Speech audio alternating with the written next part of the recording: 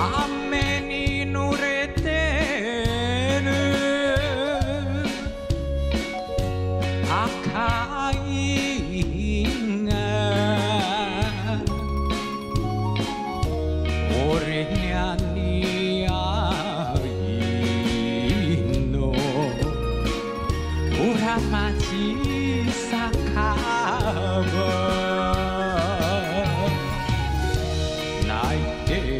room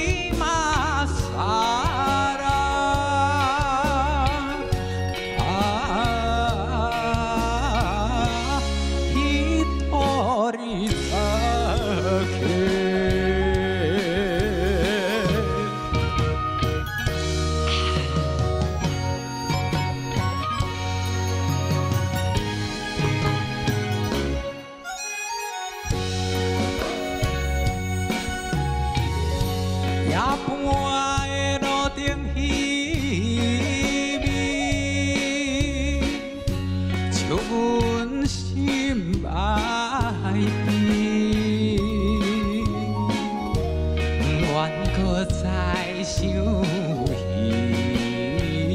时，过去已经过了时。初恋的甜蜜感情放也放袂离，不想起犹原也是会来想起，路顶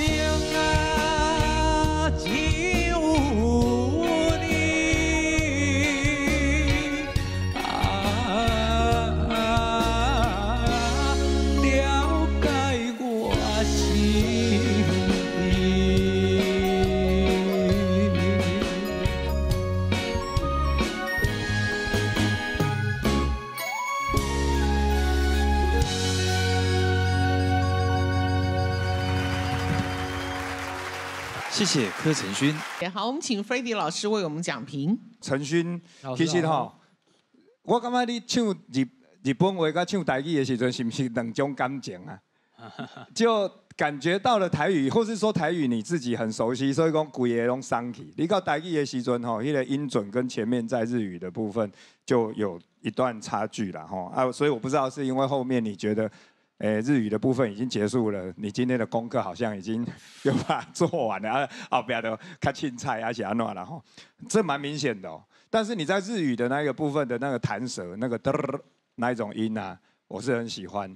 啊，我感觉这会当，因为这不是所有的台湾人唱歌拢会要用迄个音，所以讲你以后你家己若是有的歌你要有个人的一寡特色的时阵，其其实你这是你会当用的，因为这是你伫这条歌内底，我感觉你伫拿捏那一种弹舌的音，非常的恰到好处。